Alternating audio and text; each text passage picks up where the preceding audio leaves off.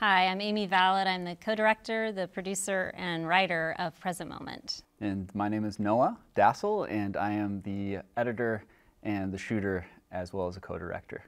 I don't know if I'm always conscious that I have it. You know, there's times when I'm engaged in conversation or, you know, I'm just in my life. I, I, I'm not obsessed with the disease. The idea to do Present Moment really came from wanting to really highlight and share my father Gary's story of living with Parkinson's. I wanted to be able to share a slightly different perspective of that. I wanted to show how he was really resilient in his life and really living a rich and vibrant life mm-hmm. despite having this illness.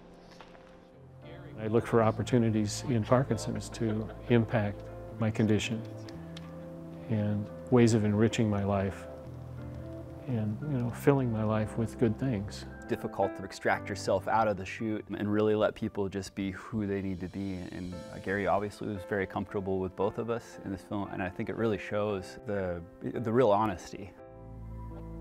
I just kind of accept each day, and if it's a good day, then I rejoice. When it's a bad day, then I just accept it. It's not really just about Parkinson's or illness. It's really highlights just this beautiful way that someone can live their life and accept things as they are.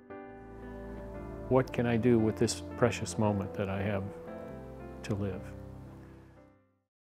Now you can experience more of the best independent films from the Pacific Northwest.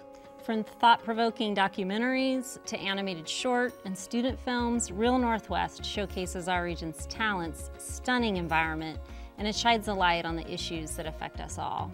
Watch dozens of films right now at kcts9.org slash reelnorthwest. Thank you.